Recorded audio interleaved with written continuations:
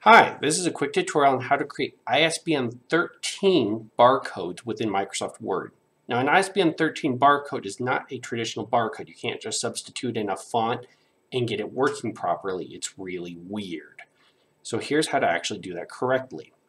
Now in this case I'm going to be using Microsoft Word 2013 and we're going to create a new file here. So we're going to go to File, New, and create a new blank document.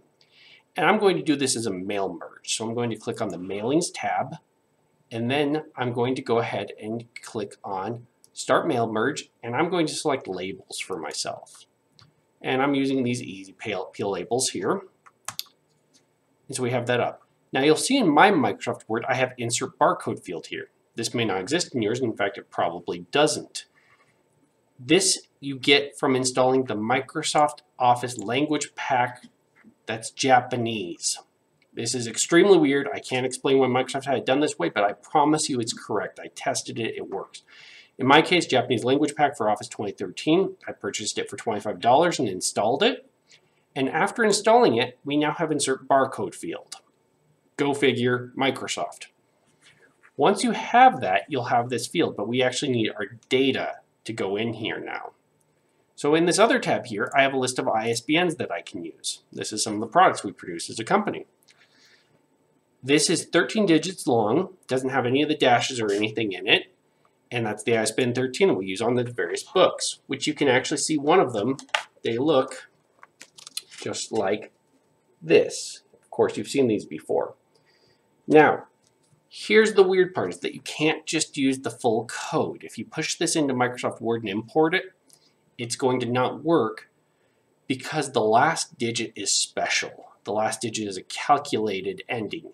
We actually need to remove that last digit in order to get this to work. Otherwise, Office just won't work with it. It won't let you use it. So I'm going to show you how to do that here. What we do here is we're going to create a new column within our Excel file. We're going to call it fixed ISBN 13. Okay. So we need to make some code here that will actually get the ISBN 13 field here, move it over.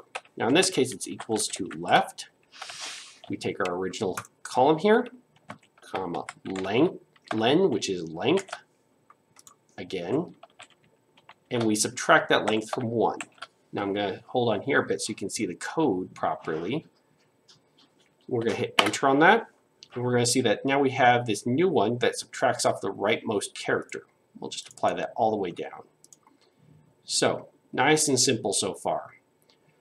Now we're going to save this file and we're going to go back over to our Word document and we're going to import this file. In order to do this, we hit on select recipients, use an existing list, and we're going to go to my documents folder and pull up this file. There's our table. And we now want to insert barcode field, select a field and a barcode type. And you'll see here, here's all the fields that were in that other file. Now when I select ISBN 13, you'll see that it has all these different ways it could make the barcode.